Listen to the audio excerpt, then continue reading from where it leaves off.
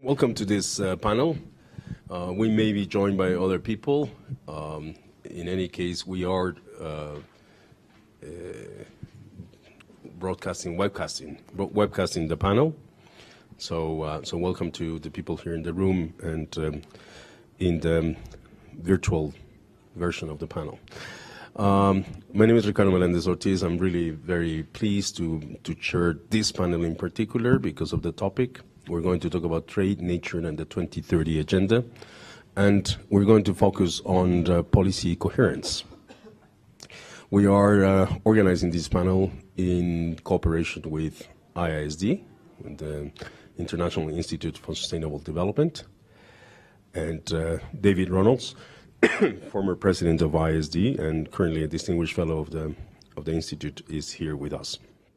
So the objective of this session is to explore the key interdependencies between trade, environment, and other policy areas that need to be addressed to build a coherent policy framework to support legal and sustainable trade in natural resources and achieve uh, the 2030 uh, agenda. We have, uh, as I mentioned before, with us an excellent uh, roster of speakers. Uh, to my right is Selina Jackson, who is a special representative to the UN and the WTO for the World Bank in Geneva.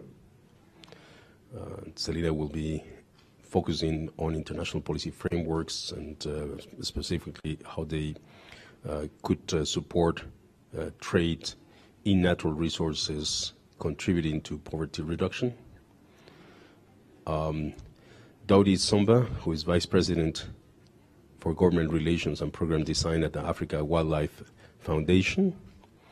And Daudi has been looking into uh, integration arrangements in Africa and how they uh, affect um, issues related to conservation and sustainable trade, specifically in wildlife. Ana Escobedo, who is the Director for International Government Affairs at ArcelorMittal. ArcelorMittal is the largest um, steel company uh, in the world with operations over 60 in, in over 60 countries. And Ana will be talking about a business perspective on international trade and environment policy frameworks, including on climate change and competitiveness. Uh, Jaime de Melo, who is scientific advisor to FERDI. FERDI is uh, uh, a think tank in France which has been the pioneer really into looking at um, development issues and particularly known for um, developing the methodologies that are used to classify countries as least developed countries, among other things. And Jim has uh, was together with David and myself and probably other people around here in the room in uh, was in Paris in the climate change negotiations about talking about these linkages precisely. And then, as I mentioned, there's David Runnalls, uh, who would be looking again at the coherence issue and has been doing this for a number of, of years. So I think rather than ask you to, to go into long presentations, let's try to see if we can keep the thing animated a bit and uh, talk about uh, uh, sort of some key questions. But um, so if you can keep your your remarks at the beginning short, then I think we can have time for that uh, kind of interaction. And I think uh, what I'll do is follow that order of the presentation and start with David first and then go on with Selina. So, David. Uh, the word short is always subject to a certain amount of interpretation here. Ricardo, what, what did you actually have in mind by the word short? Because um, I can just stop right now, or I could talk for a while. I think Roberto Azevêdo gave a good example this afternoon at the opening session, and he spoke for about 70 seconds, but it... it 70 seconds, I see. No, it was about uh, five minutes or seven minutes. So I was going to say, I hate to say what that says about the ideas bank of the WTO. Uh, look, um, let me say quickly a couple of things. Um, policy coherence is one of those phrases that political scientists love. Uh, and uh, they always sound good. Let's knock down these silos. Let's get people talking to each other. It's a bit like Tony Blair's joined up government. Um, I'm a Canadian, and we have a new government right now, and they just published the mandate letters for the ministers. And if I were a civil servant, I'd be in a state of complete confusion at the moment because everybody's supposed to be working with everybody else on almost every single problem. Now, logically, that's right. Um, but, but in the real world, it, it doesn't work quite so well. So I, I thought I'd give you a little view of the history of, um, of trade and environment in the context of the WTO. I'm not going to take a lot of time. But Ricardo will remember this that at the very beginning, the relationship between the environmental community and the WTO was horrible. Uh, it was absolutely awful. Uh, trade was one of those things that created all kinds of environmental damage. And there was a paranoid fear on the part of the environmental community that there would be this mortal clash between the multilateral, some elements of the multilateral environmental agreements and the WTO dispute resolution panel It was not helped at all by the fact that the WTO was then very hostile to outsiders, essentially wouldn't let anybody literally in the front door to come and talk about this. This was a long time ago, and I think it's one area where there has been a great improvement in the conversation. I think it's very interesting that the dispute, dispute resolution mechanism went out of its way, uh, sometimes producing rather convoluted arguments to avoid any pretense of, of ruling out of order any of the multilateral environmental agreements. And there's been a much more, I think, relatively more civilized dialogue as the WTO has become a slightly more open institution. And I would suggest to you, you won't get policy coherence without a good deal of transparency. And we were talking originally about an organization that was totally untransparent uh, you couldn't even get agendas for meetings within the WTO. Not only could you not go to the meeting, but you couldn't actually get the agenda for the meeting. Uh, and I, that's clearly improved quite considerably since then. There is, however, still, and, and one sees this in a number of areas, um, very little conversation between the trade community and other communities that essentially are involved in the sorts of issues that that we're talking about. And, and I'd just like to address the, the, the experience we all had at the climate negotiations in Paris. Now, it's a mistake to assume that the climate negotiations are primarily an environment negotiation. They're actually really an economic negotiation. Uh, and the agreement is essentially an investment agreement, if you think about it.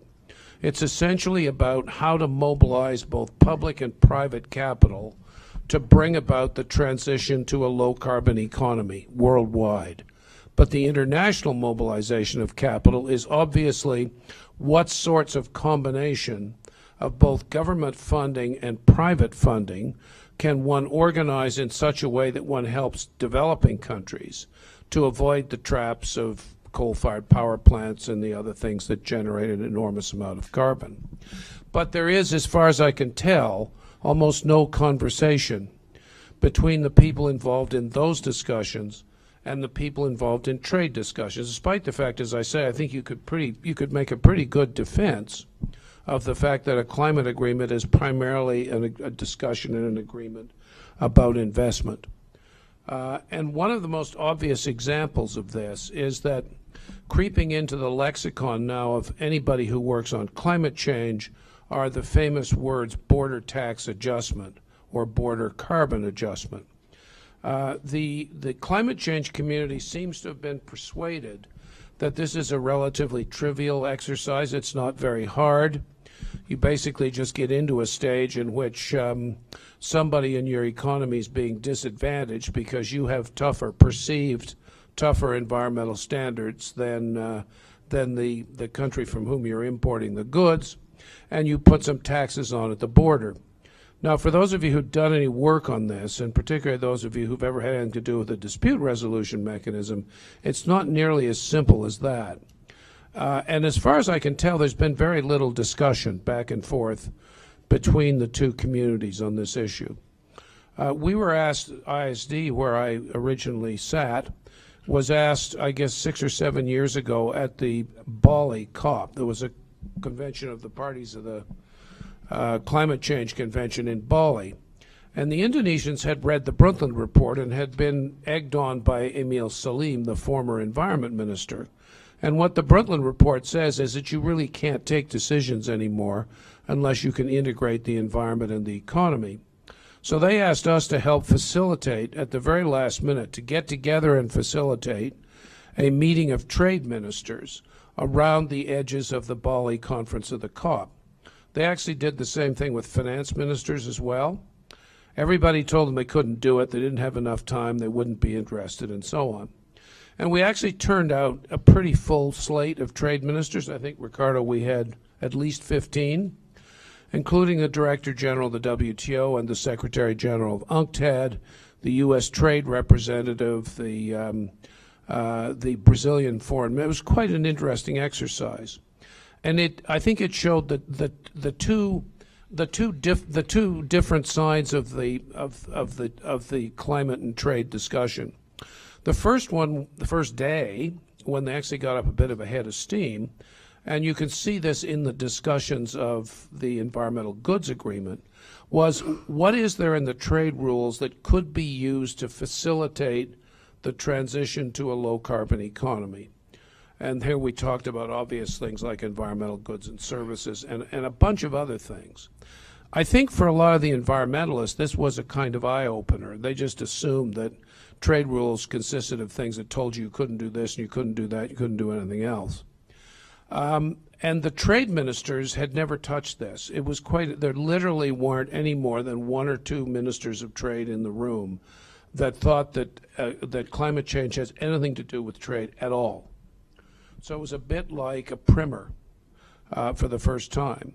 And the second day, it kind of fell apart because the negative side of trade rules came out, and everybody started thinking of the usual hypotheticals if something goes wrong and something goes wrong. But I found it a very interesting experience. It was never held again, and I suggest to you that it's high time uh, that this sort of discussion be held at a fairly senior political level because the climate issue is now starting to suck the oxygen out of the room on a number of other things. And it's partly because of the extraordinary success of this meeting in Paris. Uh, climate change is at least as complex as trade as a subject. There are at least as many aspects to it. There were 196 countries there, and they actually managed to produce, produce an agreement that has some real teeth to it. Uh, it has targets uh, it has reporting responsibilities. It's full of transparency. Uh, it has money. Uh, and most particularly, it has appeal to investors, both private and public. How far it will go is a different question, but but it seems to me that that's now going to be the gold standard for international negotiations, and one was hoping that some of that might have carried over into uh, into these discussions here. It doesn't seem to have. But, but that will become a, it won't become the only issue, but now the issue will be how to relate the low carbon climate agenda back to the other international agendas. So trade, development, uh, what's the relationship between adaptation and development? Uh, how can one actually manage to generate sufficient incentives to private investors so that large amounts of private capital actually get involved in the transition to renewable energy in India, for example. So that's going to be there. That's, I think, going to be, for at least for the next couple of years, a dominant force in the international discussions. And, and how one begins to create creative linkages amongst those agendas is going to be, I think, really quite important. And I think that's a challenge here. It's a challenge to the WTO for sure, which seems to be running out of steam because there certainly are lots of things that are relevant in the trade agenda to this essentially low carbon development agenda.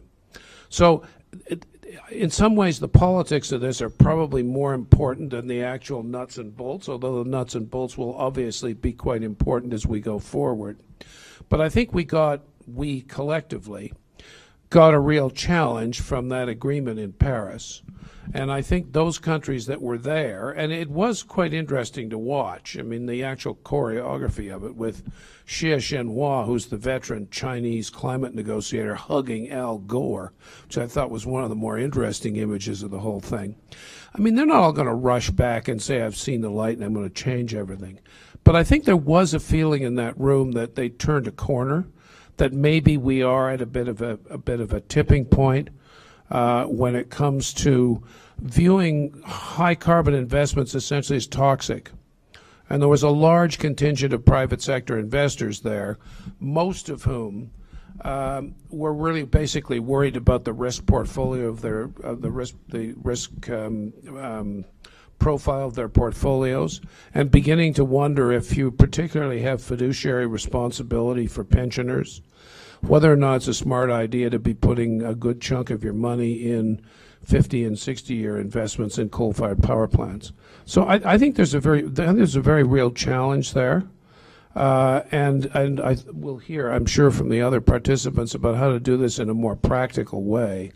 But I think it is a very real challenge for the trading system now, not to get on board, but to try and find out how to relate to what I think is going to become a really major change in both development and investment policy.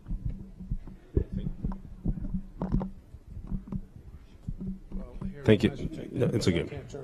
Th thank you, David. Um, okay, that, that's good. Um, it was a bit uh, longer than expected, but it's uh, it's very comprehensive and it gives a it's a good overview uh, of issues that are uh, that are very complex. So I, I hope we get time to, with uh, for a discussion with the audience among several of the issues that you have brought up. I'm going to turn immediately to Selina. Selina. Thank you, Ricardo, and I'd like to thank ICTSD for inviting me today. Um, you know, I really like the title of this session because it's called The Quest for Policy Coherence. And that really is what this is. It's a quest. It's really um, something that we're going to have to keep striving for because it's really not a destination in and of itself. It's a journey. And I think there's a lot of work that needs to be done to, even if we were to achieve some sort of semblance of policy coherence, we'll have to continually update that and make sure that it continues I think it's especially relevant in the areas of trade and sustainable um, trade and environment and the other policy areas that are going to be needed for countries to develop sustainable programs. Um, you know, in the discussion of the post-2015 agenda, the World Bank was sort of in a unique position because as a very multilateral, or sorry, a multidisciplinary uh, agency, while my colleagues at ILO were working to make sure that there was a jobs goal and that my colleagues at WHO were making sure that there was a health goal, we were, of course, supporting everything. And so all 17 of the goals um, were very much um, important to us. And so we were, we uh, were very pleased, though, that the first and foremost goal, being the goal to end poverty, uh, jives very well with the World Bank uh, mission, which is to end poverty by the year 2030 and to boost shared prosperity of the bottom 40% of populations in all countries. Um, so, you know, as we all know, that the world has made quite a bit of progress towards ending poverty. There are 1 billion fewer people in poverty than 15 years ago, but there are still 700 million that live uh, with less than $2 a day and a lot of those uh, remaining poor, they live in rural areas where biodiversity from forests, oceans, wildlife, and freshwater provide a vital safety net and, and really an opportunity for development. Um, Ricardo mentioned a lot of those factors, um, uh, but to, to, name a few others, natural, natural capital like forests, wetlands, and oceans, they represent on average 60, 36% of total wealth in low-income countries and more than half of the, quote, uh, GDP of the poor. Um, so simply put, the ability to benefit um, from natural resources is a critically important avenue towards addressing poverty and being able to trade in those natural resources in a sustainable way, of course, is even more important um, towards ending poverty. Now, while more than 50 bank client countries uh, are rich in natural resources, many of them are also low income, they're fragile, um, or in a post-conflict situation. And so for those countries in particular, having resources um, is an important provider of potential economic growth. Yet uh, many of these countries experience what is known as the paradox of plenty, a situation where abundant resource wealth is accompanied by poor governance, uh, by criminal activity, by corruption, by illegal trade, by uh, laundering and, and tax evasion. if we take the, the example of poaching, poverty doesn't cause poaching, uh, but poaching does exacerbate poverty. Is that better? Okay. Um, the World Bank has stepped up its work on many of these issues, um, such as stolen asset recovery, governance, and anti-corruption. Uh, but to bring this type of work together with our trade work has taken our own internal exercise in policy coherence. Um, many of you are familiar with the work that we do in trade, whether it's on market access, standards, regulatory uh, compliance, services, trade facilitation, et cetera. This is all done by our trade and competitiveness practice. Well, we've also done a lot of work on poaching, on illegal logging and fishing, but those, that work has all been done through our agriculture and environmental departments. So the recent reform of the World Bank Group was undertaken with exactly this goal in mind, to stop addressing our country programs in silos, but to do it more holistically. So it's sort of our own internal coherence uh, exercise.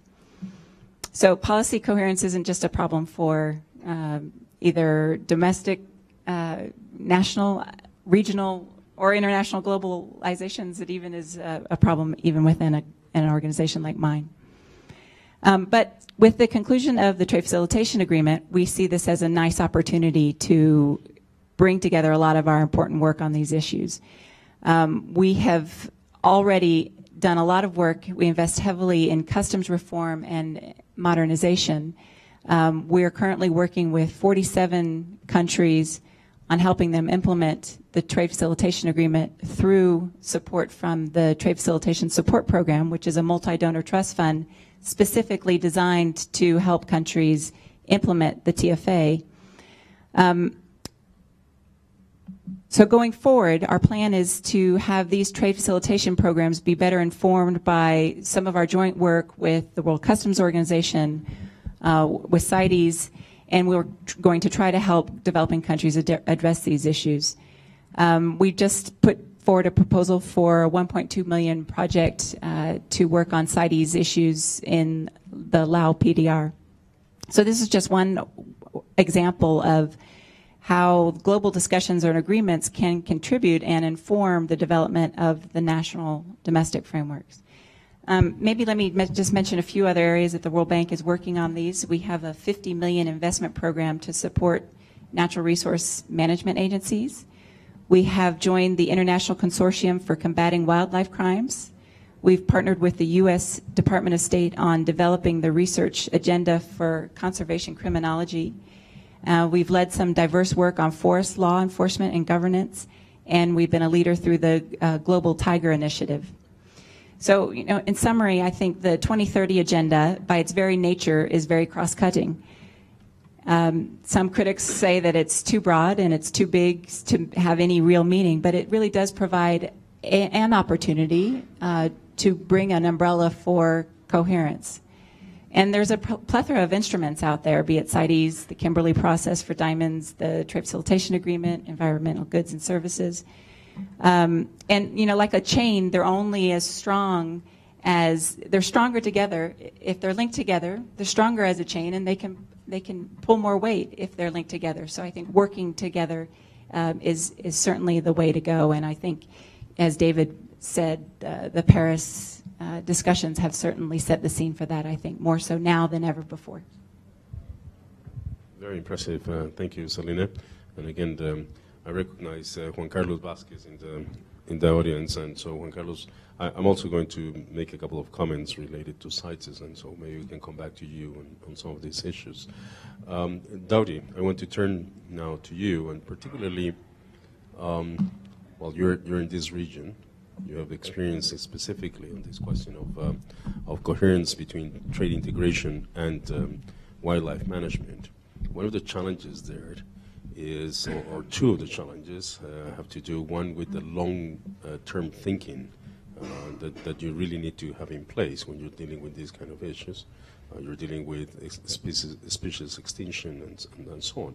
But the other one is this um, um, supply and demand as the two factors that should be uh, attended to. Uh, and so it speaks about the policy coherence both in the source countries, if you like, as well as in the importing countries.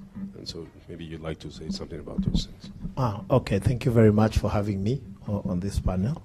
Uh, I work in wildlife conservation, and I've been doing that for many, many years. Um, and I work at the African Wildlife Foundation, and we work in uh, almost 22 African countries on matters of wildlife conservation. I think that uh, today wildlife has gained a lot of prominence in international policy, mainly because of the threats that wildlife faces, uh, especially around illegal wildlife trade. Uh, it is estimated that illegal wildlife trade is now around about 10 billion, uh, driven mostly by demand from Southeast Asia and China uh, for wildlife products that in, in actual fact do not have any of the characteristics people claim they have. Uh, if they asked us, would give them better alternatives.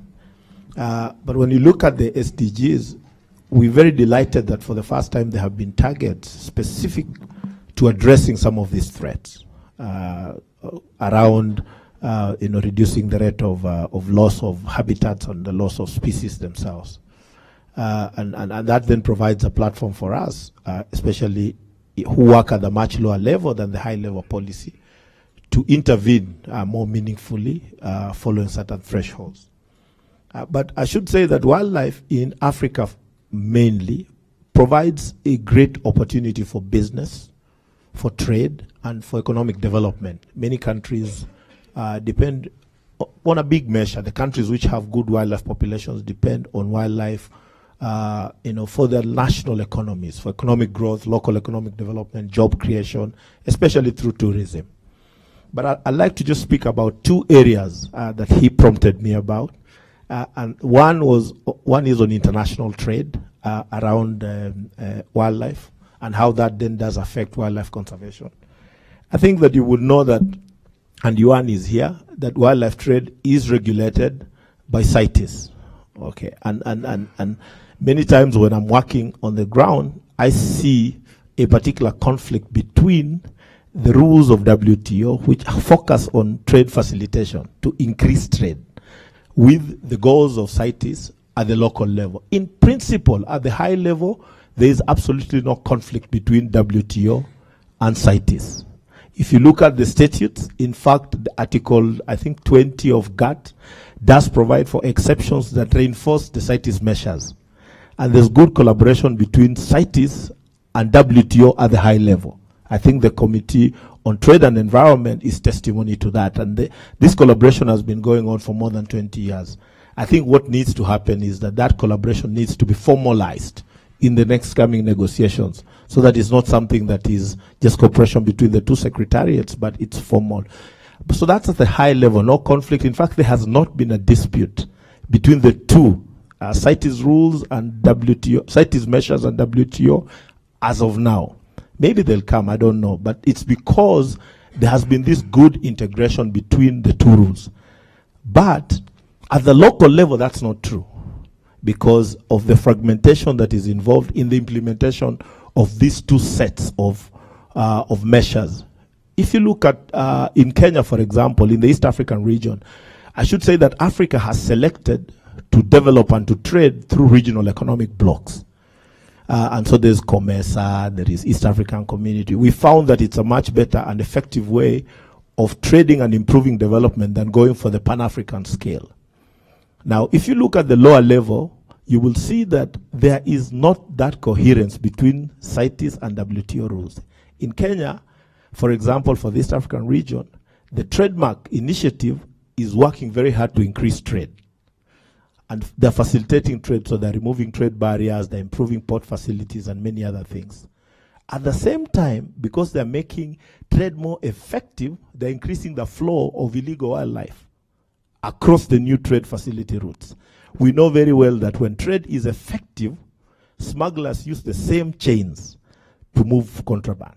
And so we have seen in the last three, four years, for example, from the East African region, 80% of the ivory seizures have come from East Africa, which means that trade facilitation has worked to the disadvantage of wildlife because there has not been good coherence. So the, the, the port officials are not aware of CITES regulations to check for wildlife goods. In fact, many have been implicated in assisting uh, the export of a lot of ivory and rhino horn. So we need to move uh, coherence to the lower level, to the port level, that the official from the port can speak to the official from the CITES National Committee and can uh, help them to understand how these two instruments work together. Uh, uh, if we do that, I think we will, we will, we will, we will make good progress. The same with COMESA, the same with ECOWAS. Uh, uh, it's a recurrent problem across. There will be lots of capacity building, lots of training, and many NGOs are trying to do something to foster uh, interagency collaboration between different government arms so that they can deliver on this common goal. But we still have a, a long way to go. I think the other area that I'd like to just talk about of, of coherence, he, he talked about the issues of supply and issues of demand. I think from, from, from a supply perspective, the issues that we are dealing with are issues of illegality, mostly, and lax regulations that contraband or ivory products are freely available because the legislation is not enforced. And a lot of corruption is abetting this type of trade. But in the in the uh, in the other countries, the export countries, uh, the, the, the importing countries, I think it's either lack of legislation or awareness that drives you know th- th- that particular trade. And I think that the CITES uh, uh, rules have enough provision to address this particular problem, even where you have to deal with non-members, because a member can use strict domestic measures uh, to stop trade with another non-member who is offside. So there are many ways we can do that. But if I'm, i may complete, the second area I wanted to talk about is sort of the national level, um, especially trade like tourism which is you know, sort of an um, important non-consumptive uh, area. Wildlife policy in Africa has mostly focused exclusively on tourism and not looked at other forms of sustainable use. But the goal for tourism and the goal for wildlife conservation in Africa should be to expand the level of benefits that accrue to local households in a manner that spurs development. And I, I can submit that tourism on its own won't do that.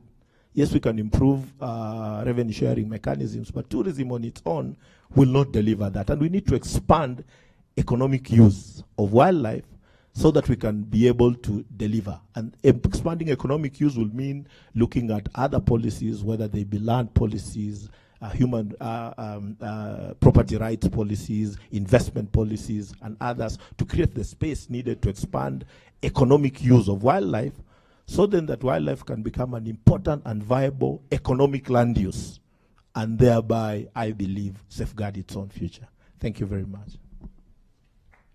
Thank you very much, um, Daudi. That was, uh, again, excellent uh, contribution. We can come back to several of the issues that you have flagged there, um, in including not least, I think, for for the interest of many people in the room, the trade facilitation question and uh, that you that you raise, which is um, which is very interesting.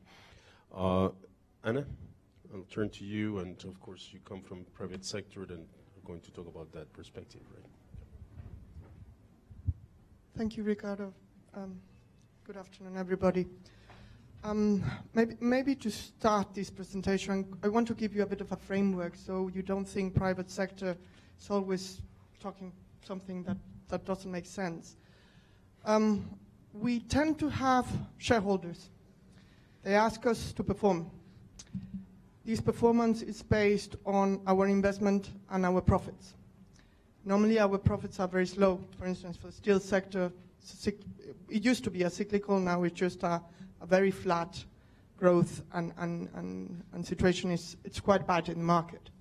So, when, when I was invited to talk about coherence, I said, well, I'll, I'll talk as a as someone that deals with incoherence of, of the regulations, because as, as um, David said, ministers talk at very high level, but the implementation is it's a very different way. L let me give you just, I will make very short my, my presentation to give you a, an example on, on similar industries of steel. Steel depends on two elements, basically iron ore or scrap to, be, to produce. There is no way that we can produce iron ore into steel without coal. There's no technology. Since Middle Ages, the steel has been done the same way. We have reduced 50% of our CO2 print in the last 50 years. There's a huge, been a huge uh, degree of uh, progress on, on technology. So unless there is a breakthrough technology, our CO2 proof footprint is, reduction is limited. That's one part. Second point, steel is highly traded good. We define where to invest regarding two things, market access and cost of opportunity. And this is linked also to our extracted sector. We are still an mining company, so our decision is linked also to where our mining sourcing is linked to our steel produ productions or not. So for us, these, these two prerogatives make very important this alignment or understanding of the policymakers on how industry like steel work. We are standing in a very crucial moment. We just finished the COP21 and we are standing in the middle of the ministerial trade discussion. I was a bit scared today uh, listening to one of the trade ministers saying the WTO should only focus on free trade and tariff reductions. I'm like, wow, that statement. And then that same country, Minister of Environment, said last week, we are going to do whatever it takes to reduce our CO2 footprint. And I think, did they talk to each other? Because the only way that's going to happen is they're going to destroy the industry in the country. That's the only way they're going to be CO2 uh, free. And this is probably what's going to happen if we don't have a coherent um, regulatory framework. We do not think, we are not against uh, solutions on, on CO2. We are, we are the main providers of solutions to our users. We, we produce new, not, I'm talking about steel, but it's the aluminium, the cement industry. They are working very hard to find a way on how our customers reduce the CO2 proof footprint. Example, um, from the iron ore to the smelting industry, where the extractive of iron ore depends, the mining extractive industry depends, there has been a huge development of energy efficiency on waste heat recovery, on uh, methane recycling. We have dealt with the tax authorities to ask them to recognize the transfer pricing methodology on cost. No, they keep linking it to market price. So wait a minute. So we are having to in invest more on our extracting mining development for a CO2 footprint when you are telling me that my trading platform price is going to be linked to the lowest possible in the, um, in the um, spot market. Okay, that's, we deal with it. Then we go to the transforming industry and we face challenges like in some countries environmental ministers saying we are going to put a tax CO2 and then the industrial ministry is going to tell us, oh, but we're going to increase your uh, requirement on local content and equity investment and community investment.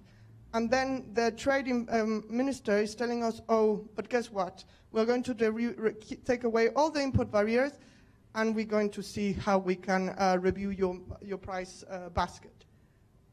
That puts us in a very difficult position to maintain jobs. And believe me, we're doing the best we can, and sometimes it works when the market is growing.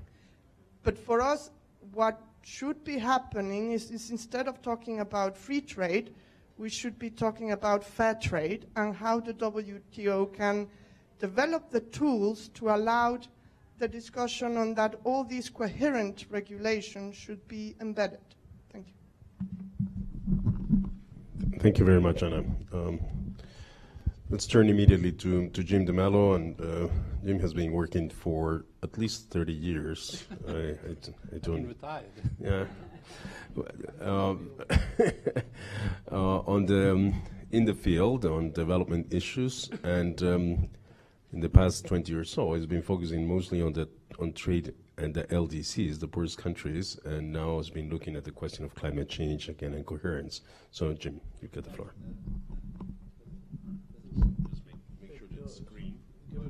There's a little indent there. Yes. Ah. Well, thank you, Ricardo. It's, it's a pleasure to be here. Now, yeah. Now, uh, now that I'm retired, I really have to work. So, uh, this is a, a, sort of a game changer for me as well. I just wanted to add, just to begin with, since uh, with a bunch of others, I was in, in Paris for the last two weeks. Just a few words uh, to David's uh, presentation. it's true that until until recently, the the trade uh, the trade and, and, environment communities have worked, uh, gone on separate, uh, very separate path. But you should remember that Dan Esty, in 1975, when the WTO was set up, he sort of warned, he had foresight. He said, look, you know, if you're not going to take into account uh, the environment, we're going to be uh, maybe heading on a collision course. So maybe things have, maybe things have somewhat improved. And there I would just like to add a couple of words to, um, to the conclusion of the Paris Agreement. I think we agree all, it's a game changer. And uh, certainly, one of the things that is important is that countries have accepted MRV, monitoring, reporting, and verification. The problem yet, I mean, even though that has been accepted, is we have not said how it's going to be done. So we're only halfway there. I mean, it's, it's very good to, to have started that. The second is, okay, these INDCs are in, in essence, if you look at it, just about every country, maybe except Switzerland and a few others, they are just doing what is in their own interest, what you, we used to call Nash equilibria and so on, just doing what is in their own interest. So that may bring us to three degrees or so. But if you think about Article 2.2 and the environment, which is what this session is about, you know, the carbon budget is at least reduced by one-third, just you want to take, out, uh, take into account biodiversity. So we really still have a, a ways to go. Uh, now, what do we need? It's clear we do need an open world trading system. We all agree to that. But the question is, uh, what do we need it for? Well, we certainly need it uh, for what you've talked about, the de deep decarbonization. In order to do that, we need to have, well, let's say a technology mechanism which has been agreed upon to become really effective. It isn't yet, but maybe uh, we have the we, we have what it takes uh, to make it work. But that is necessary, of course, with also uh, the financial part. Now, when it comes to natural resources, which is you know what, what the, the session is about. I think we have a we really have a, a problem of, of governance, and there's a governance at several levels. So we know one of the government levels is on natural resource extraction.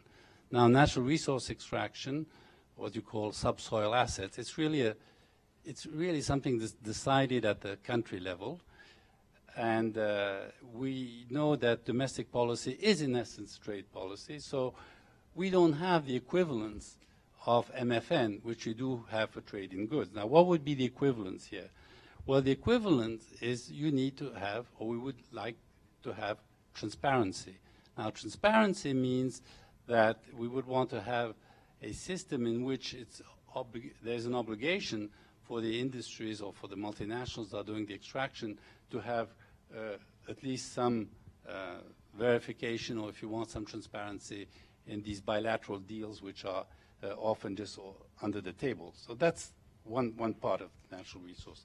The second part uh, gets to uh, maybe the harder part, which is what we've been talking about in the other, the previous two sessions. Uh, one is on common pool resources like fisheries, and that's really a, a tough one. I always cite this, uh, the case of this book by uh, Scott Barrett. He looked at 200 multilateral um, agreements in environment, he said there are only two or three that worked. So that's not two or three out of 300 really is, is very little. And one of them is this famous uh, Fur Seal Treaty of 1911, which is very interesting because that was a common pool resources and actually uh, they were just about going to zero. And finally, you could transform it into a monopoly. And once that was transformed into a monopoly with a few other rules, we managed to save, save, save the resource. Now, the second one, which is uh, difficult too, I think, is uh, we think of forest. Now, we have technology. Now, the technology we have is we can now uh, for sure know if a forest is being burnt out within a few hours. Now, is that sufficient to make REDD Plus work? Well, we've had this for 10 years. REDD Plus is, is starting, but we have the governance problem. The governance problem here has been very difficult for countries like Norway uh, to, to make governance work, uh, Indonesia and so on. So we still uh, have a, a, ways to go. And I just want to finish by asking the question, uh, I think we all agree we need an overall uh, architecture for global governance, which is different from what we have now. What we have, so to speak, is a, the WTO, the IMF, uh, the, the, World Bank. They, they work very well when we had a trading system which was just financial flows and goods flows. But now uh, we have very strong physical linkages. So the answer, the question then is in this new in this new uh, environment, is there a role, or what role would there be for the WTO, or do we need to go somewhere else? Now, we can't take as a departure now that the WTO is no longer going to be any good at reducing trade restrictions, right? Uh, because this is done either bilaterally or unilaterally. So what can it do? Well, uh, the two things it can do is uh, rules, okay, be better at rules, and also at the dispute settlement and so on. So that's uh, where we could ask the question, how has it been doing so far? Well, okay, if you look at Article 28 on fisheries, if you look at the uh, multi uh, or the plurilateral on environmental goods, we still have a ways to go. We may be getting there, but we still have a, a ways to go. So, uh, is the WTO in its present form uh, set up to save the day? And the answer is, is I don't know what the answer is, but at least that, that's the question. I would like to, I would like to finish with that and uh, just think about fossil fuels. In 2009, the G20 said we were going to do something about fossil fuel trade policy review mechanism because presently there's no incentive for someone to give some information because it could be self-incriminating. So thank you very much. First step would be to delegate the WTO to do something Th thank you, Jim. That, that was very good. Um, let me let me perhaps take it from where you left and um, add um, a couple of comments. I, I, think I would be remiss if we don't uh, talk uh, just uh, very briefly, at least, uh, about what has become perhaps the, the benchmark uh, with respect to this coherence uh, between trade agreements and, and, natural resource management, and that's the concluded TPP. Um, so, if well, if that goes through ratification. but so, so three quick things about the TPP. The TPP has got an environment chapter, uh, which is subject to um, broader uh, the, the, broader FTA uh, dispute settlement system, uh, which is very important in that respect. Uh, even though in the environment section there are uh, procedurally a number of steps that parties would have to go through, including uh, environment-specific layers of consultation, including at ministerial level, before you get to a panel. Uh, but that, that's, a, that's already uh, binding obligations on natural resource management. Now, what are those obligations about? They're binding obligations to take measures to control uh, ozone depleting substances, to prevent uh, marine pollution from ships, and to implement the CITES obligations of parties on those three areas. So with respect to the Montreal Protocol, the MARPOL Convention, and CITES. Um, it's not, uh, well, there, there is uh, some specification as to how is it that parties are deemed to be compliant or not with this obligation. Uh, they, there's also a transparency issue as it is a requirement to maintain an agreed list of measures taken to implement uh, each of these uh, relevant uh, MEAs. and the violation of that obligation would come about if parties uh, are found to have failed to take measures to, in, uh, for instance, to control ozone depleting, depleting substances or the objective of those um, agreements of MARPOL and, and, uh, uh, and CITES as well, in a way that affects trade and investments between the parties. So it's very interesting because it's about uh, really uh, using the dispute settlement for the trade concern rather than the environmental uh, issues, but in respect to, again, these environmental obligations. Uh, so it is promoting the, the, the, coherence and the environmental, the perceived environmental obligations within the objective, the larger objective of the, of the agreement. It's very similar to the approach that the, the U.S. had taken on the Korean-U.S. Um, uh, FTA. There are also some additional obligations on illegal extraction and trading wildlife, uh, flora and fauna, but I'll, I'll, i think I come to Juan Carlos, who's been looking at this very closely on that.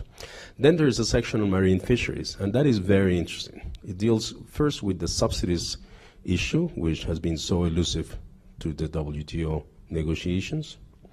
Uh, so there's a prohibition of subsidies to fishing that harms overfished stocks, uh, with the stock status determined by na by national government, the regional fisheries um, um, management uh, organization, or best scientific evidence uh, available, and a, a, prohibition of subsidies to vessels engaged in illegal, uh, unreported, and the IUU fishing. What is it? Illegal, unreported, and unregulated. I always forget the unregulated. So the IUU fishing, uh, as listed by the by the flag states or the regional uh, fishing um, management organizations.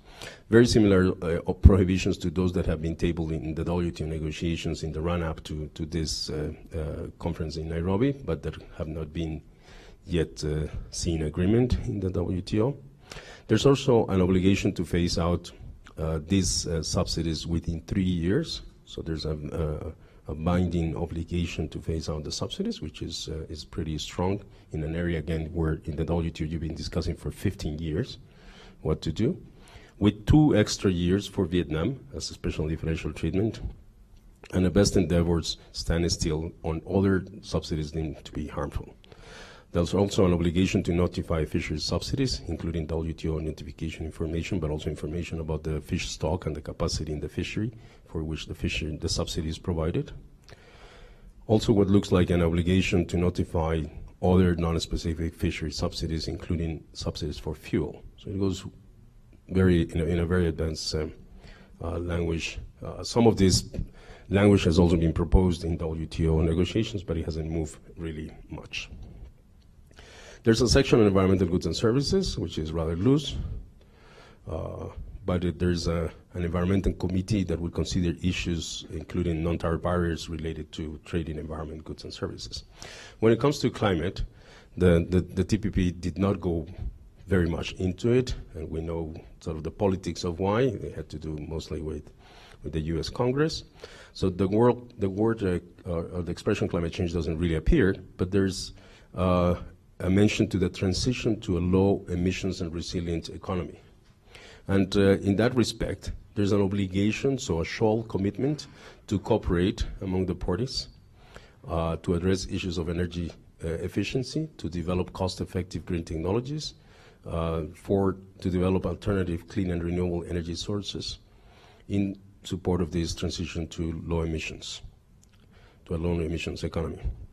So again, it's some language that goes in the right direction, uh, even if there's the obligations are, are not specified.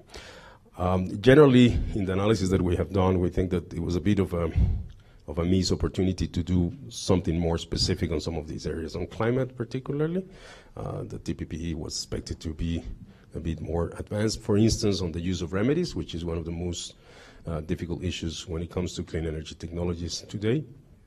Um, it could have uh, tightened some of the rules on anti-dumping partic particularly, and we know specifically what is necessary to really tackle the problem of over-targeting uh, clean energy technologies, which is what has been happening in the use of, of remedies in the past few years. Uh, but there are some other obligations that could be uh, relevant to, to climate and that, that, that, may be helpful. But, but anyway, I just thought I'd, I'd, mention it because it has become, in a way, a benchmark that uh, would probably be the floor then, it has to be the floor of negotiations in the TTIP, where this is expected to be ratcheted up in, in some of these areas and it will probably inform the, the development of similar provisions, particularly on fisheries and wildlife, in, in other uh, regional trade agreements, and hopefully uh, in the multilateral system. So with that, let me open the floor. Uh, we have about half an hour for a discussion. Uh, say one thing to follow up with Jim. Yes, so why don't we, we take David now for that, and then we open the floor, and then we can come back, and there, there, all of you have made uh, some very interesting but also controversial statements as you speak. And so we can come back to some of those. So, David. I apologize. I'll have to leave before the end of the session. It was an agreement I had before. I can't get out of it. I just wanted to follow up on what Jim said, because if you want to really think about a policy coherence dilemma, the REDD provisions of the climate change agreement are the policy coherence dilemma par excellence About 20% of all of the CO2 emissions in the world come from deforestation and forest degradation. Uh, there has been a program created which essentially is both capacity building and financing for developing countries with large, large-scale forests. It's essentially uh, been cooked up by the UN and by Norway. Norway can't meet its climate change obligations any other way. Norway produces a lot of oil. Uh, it has a very high CO2 emissions, and despite very tough domestic it, uh, programs, uh, carbon taxes and everything else, they can't meet it.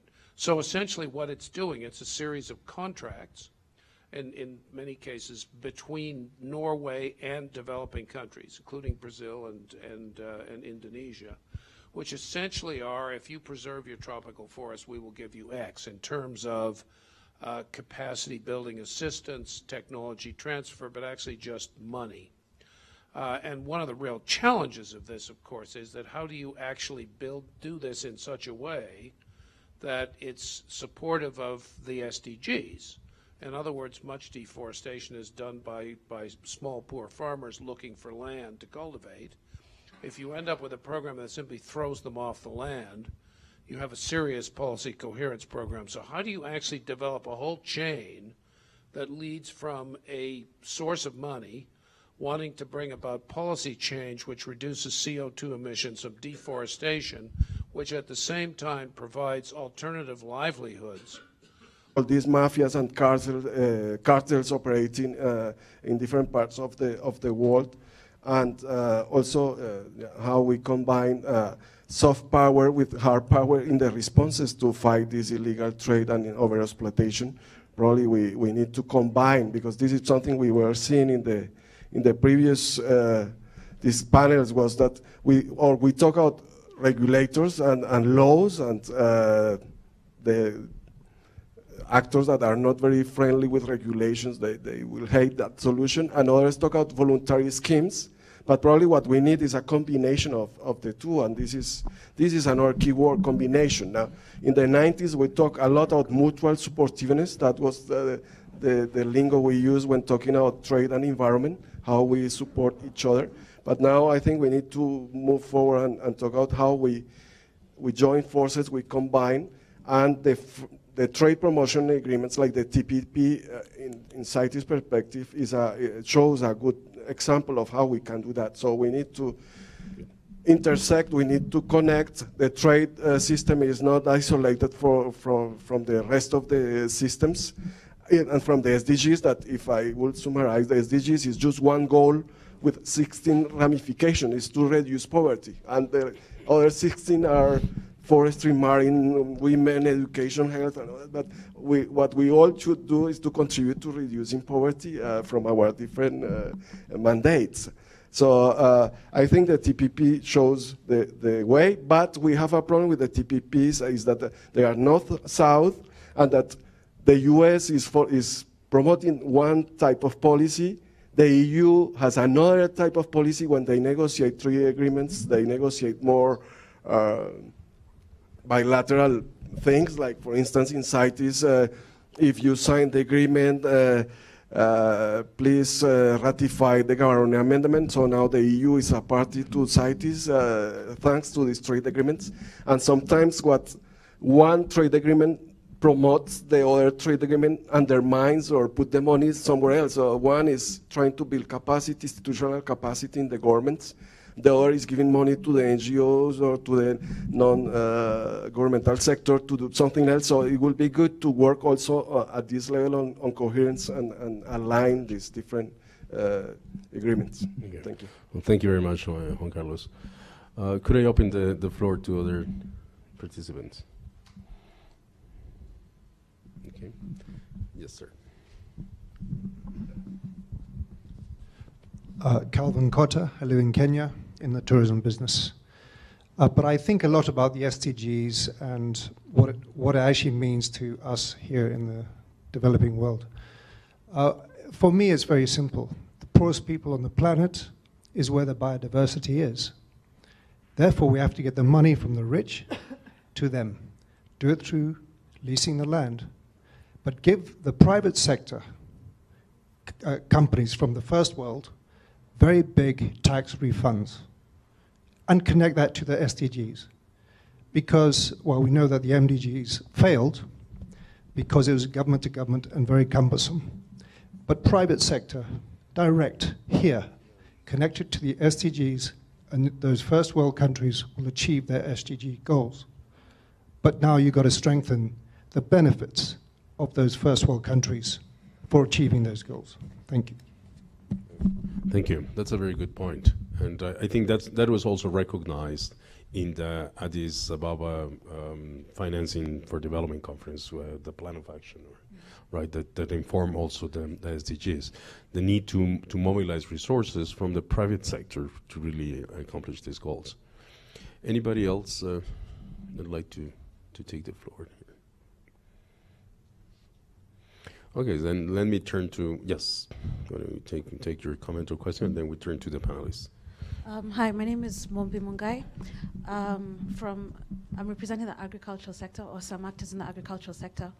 And while I might agree with my colleague uh, who's just mentioned um, his point, I feel that that might just be transferring the problem elsewhere, leasing the land, uh, possibly moving some of those people uh, to another area so that this land may be protected, something that's currently happening in the Masai Mara, and that's not, not the only area it's happening in, it's also happening in Voi and a few other areas where we're leasing land and moving away people so that we conserve the land, we can protect it. But then, because there's no buy in from the community about what you're trying to do, um, it just ends up transferring that situation. Now, my initial question was since this is a conversation that's been happening for at least two decades, if I'm not wrong, be before the Kyoto Protocol, um, you're looking at talking to, um, I think, a large number, maybe a group of 80, who are largely still in the developing stage of uh, growth. And they're looking at across the line um, countries that have developed more. So in that sense, we're more imitator economies than the ones that have, you know, that have developed more. And across that line are other growth and economic uh, goals that we aspire to get. So when you ask now developing countries to reduce, um, you know, whether it, it means uh, the pollution or emissions, for the benefit of the environment, I feel that motivation is still lacking. And even when you say we're going to pour in money, when 80% goes into administration and it doesn't reach the people that it really should, the buy-in from the government is lacking because they feel, um, why can we not reach or aspire to where you are? And then we can have this conversation. And then again in the community. So I believe that's what David had mentioned earlier in my, you know, the, the first guy that had mentioned. But I feel maybe we need to look at an alternative conversation um, because we'll keep revisiting this, you know, this question. Thank you. yes, uh, in the back, Nicole. I think it's Nicole. Um, hi, my name is Natalie Jones. I'm from the University of Cambridge. Um, I was also on the New Zealand youth delegation to COP21, which just included. Um, my question is with regard to the COP, a really key um, subject area that was talked about a lot was fossil fuel um, subsidy reform, and in particular, a particular group called the Friends of Fossil Fuel Subsidy Reform, a group of countries. Um, I was wondering if in the WTO this time at the MC10, is there any appetite or talk about reducing or abolishing fossil fuel subsidies? Okay, thank you for that question. So we can come back to that topic. Uh, anybody else on the on the public? Okay, so why don't we come back and uh, maybe why don't we, we start with Daudi if you want to respond to, to the couple of uh, comments that were made, but also if you'd like to respond to any of the other panelists. I'll just go down the table and um, please, if anybody can uh, respond to the, some of the comments from the public, but also to to each other. So uh, I think I heard uh, Mumbi mention um, uh, displacements and evictions for purposes of land being leased uh, to expand agriculture or to bring in protection Uh, for example, in creation of uh, protected areas like national parks. I, I, heard you mention Voi, so I assume that was Tsavo East or West, I think. Uh, I must admit that wildlife policy, uh, in many dimensions, has contravened people's rights uh, and has been a source of uh, conflict, uh, especially with human rights. Um, uh, but I should let you know that last year at the World Parks Congress in Sydney, human rights standards for conservation were created that will now be um, incorporated into practice of protected area development that should address some of the issues that you have raised. Thank you. Selina. Selina. Um, I think one issue I'd like to touch on is the, the point you made earlier about uh, that the trade facilitation has uh, not only facilitated trade, but it has facilitated illegal trade. And I want to make it very clear that the World Bank projects in this area very much work on enforcement related capacity uh, enhancements. Uh, so we take that very seriously, and that's a very big part of our um, of our projects. You know, when you look at the trade facilitation, um, modernization, um, and customs reform efforts that many of the countries want to undergo, a lot of it is building in IT capacity which just by simple taking away the human element takes away a lot of the opportunities for corruption. Um, as Ricardo knows, before I joined the World Bank, I worked for UPS for 10 years, um, working a lot on trade facilitation issues. And I can tell you that um, UPS or FedEx or DHL were not the carrier of choice for smugglers or counterfeiters it was the postal service because they didn't use the IT systems, the the advanced systems that we did, and so I think um, just simply to make the point that um, I, I, respectfully disagree that it's um, facilitating illegal trade. I think it's um, very much the opposite. That it's going to be an opportunity to help with to help ad address corruption. So well, okay. So I think in defense of Daudi, I think that um, his point is that the facilitation of trade, open routes, that are also abused, if you like, by the, by the illegal traders. So, um, so the point there is, I think, what you're saying, Selina, make sure that trade facilitation programs come also with mechanisms and, uh, as you say, an approach to using, for instance, uh, advanced uh, digital uh, technology and so on, uh, that could help, as you said, with the control of that kind of illegal trade. So I, I don't see a contradiction between the two. so, Anna. Um, thank you. I'll, I'll, try to answer or, or, reply to your comments and to the Sustainable Development goal, goals from, from industrial perspective. I would assume, or I, I would say, based on, on, on how we operate in the extractive sector, mining comes more in developing countries or countries that are depending on the community needs and the community clearance to accept the mining extraction. It is easier for a company to engage with a government that has a clear mandate on development or a clear demand from the communities on, on development and we see that on, on the engaging on our uh, mineral development agreements. They ask for it. So it is, it is part of the compliance that we need to do. When you go up the chain on, on the transformation industry, this goal is lost in translation. The, the trade minister deals with part of the industry, environmental ministry deals for, for another part of the industry, while in destructive industry, the, the min, uh, mining minister is in charge of overall the compliance on the industry. So he deals with the methodology of the transfer pricing with the financial minister, etc. So what I'm trying to say maybe happens similar on the agriculture sector, I'm not familiar, is when you go up the transformation chain, interests overlap. And we, an example right now, and I think Ricardo is going to throw the bottle of water to me, like the message he said, or that the he said, oh, the anti-dumping over targeting renewable energy. Immediately for me, like, well, if the anti-dumping proceedings were fairly implemented, meaning that dumping was proof, injury was proof, and that there was undercutting, market act, etc. If overall the technical elements of an anti-dumping case were clear and, and, and evidence was clear, then it's no over-attacking or over-targeting a, a, a, sector. It was the domestic industry trying to, pro not protect, trying to average a level playing field.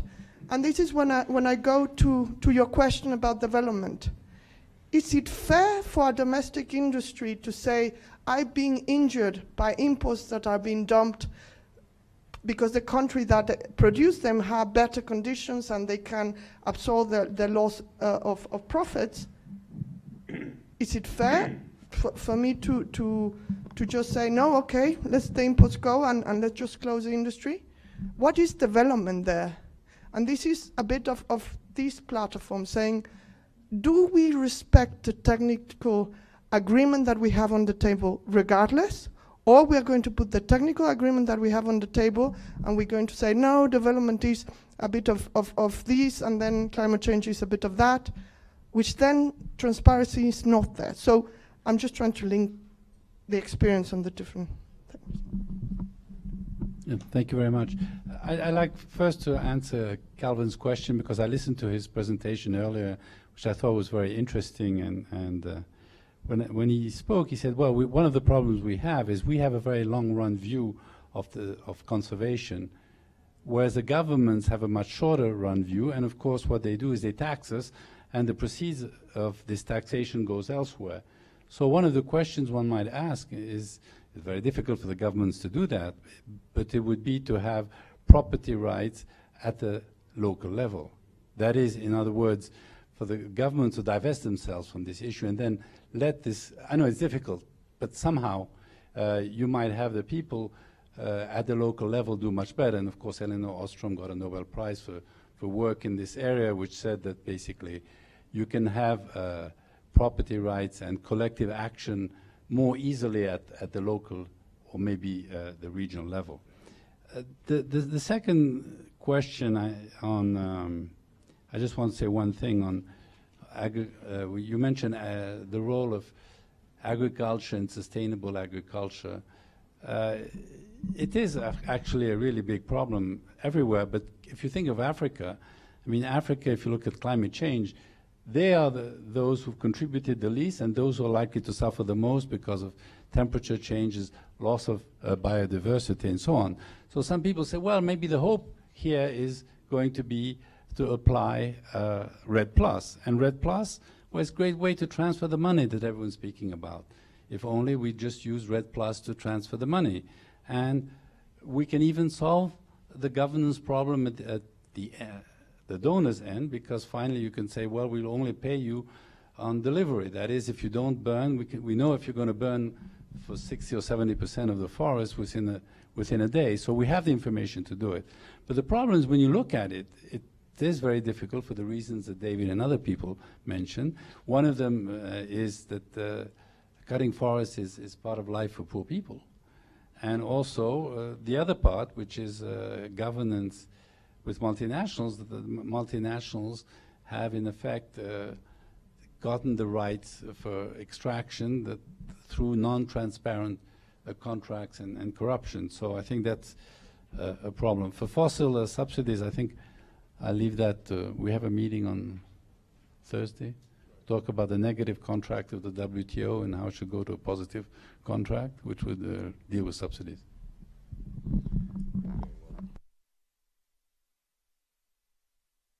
Um, I think uh, we had a, a, really very comprehensive uh, discussion on these issues, and uh,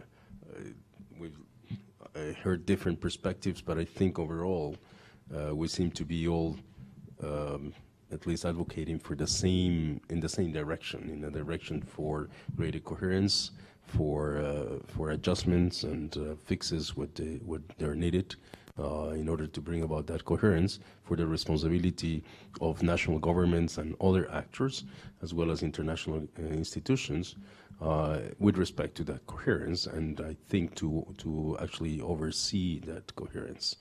Um, there is an agenda for the multilateral trade system, and I think that there's an agenda also for regional integration to address some of these issues, to enable, when it's uh, necessary, the adoption of policies that go uh, into, again, enhancing uh, capacity and, and coherence, because coherence is not just about the frameworks, it's also about, obviously, the implementation and the, and the capacity, very clearly on the CITES case, for instance as Juan Carlos has highlighted, revisiting it in, uh, in uh, at least uh, one more session here. I think we also have a session on, on climate change and one on clean energy technologies, where we'll come back to some of it.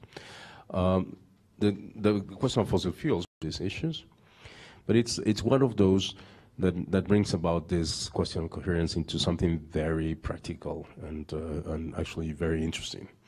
So the G20 has called for the uh, phase out of these subsidies, if not, if not the elimination. It's mandated a few of the, of the big institutions in the global economy to um, not only uh, come up with the data and uh, the metrics about those, the, the, those subsidies. Um, the IMF just came up this year with the most in, uh, fascinating estimate of the cost for societies and economies of, on fossil, of fossil fuel subsidies. And uh, so, and then uh, it's called for action in the frameworks to do something about uh, fossil fuels. We really have been looking at this issue for many years when it comes to WTO and trade rules. We don't have the tools really there that are really developed with that purpose, which is probably what is needed. Uh, we need uh, uh, rules that are more specific about the objectives. We're trying to use rules that were written for other reasons in the case of subsidies. The, the E15 initiative that we are talking about here in, in these rooms has included a, a, group that has reviewed uh, subsidies in a very comprehensive manner. Where is it that we're coming from? Is there a, a vision really to the disciplines that we have today on subsidies in the various trade agreements and what to do about them? And what we found is that it's really um, very lacking. And there, and there is, uh, from the origin of that rules to the development to the implementation today, uh, th these are rules that are terribly deficient. And what they really lack is purpose.